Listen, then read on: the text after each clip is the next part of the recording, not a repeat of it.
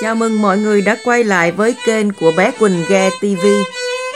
Bé Quỳnh Ghe TV hôm nay gửi đến mọi người album Christmas in Violin, nhạc Noel với tiếng đàn vĩ cầm của con trai mình đánh phục vụ cho mọi người cùng nghe và chúc mọi người một mùa Giáng sinh sắp đến thật là an lành và hạnh phúc bên gia đình nhé. Cảm ơn mọi người đã ủng hộ.